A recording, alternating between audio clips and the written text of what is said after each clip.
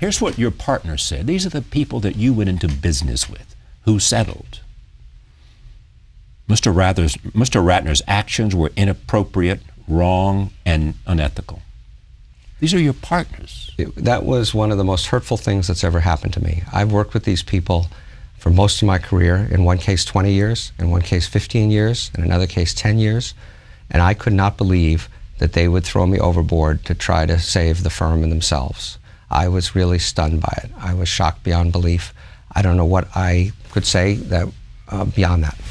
Well, you can say why you think they did it. I, I mean, did they save themselves anything because they had to pay twelve million dollars from the firm? And so, what I mean, did they somehow? I mean, this they, is the characterization some have made. Maybe you, I don't remember exactly.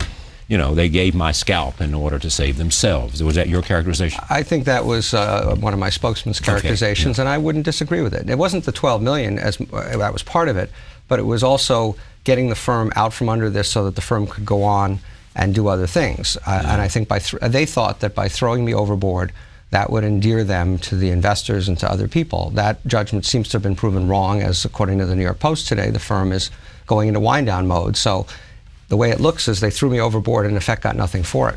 Well, you're also, don't you have an arbitration suit against them?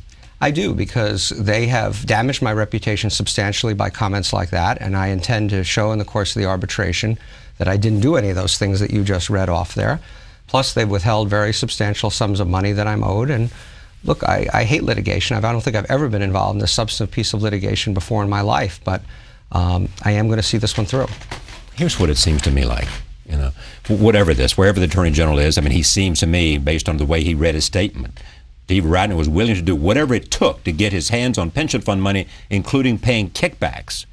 I mean, that's that's his opinion. I yeah. disagree with him. That's the reason he said there were these two indictments. They're not indictments. I mean, they're charges. Charges, yeah. Uh, uh, I, I, understand he said that, and I've responded to the two. Ill-gotten gains, he says, going to be held accountable.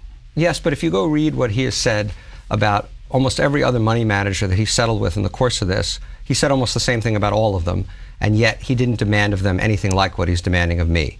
So I come back to your question: Is it emotion? Is it politics?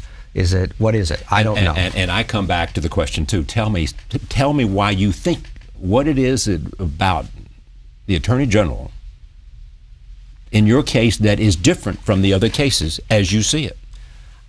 I, I, don't. I don't think there, there are different, always inevitably slightly different facts in any case. When I look at all these other cases, and I've been over them and over them and over them, I don't believe that I did anything worse than the rest of these people, or or different even particularly.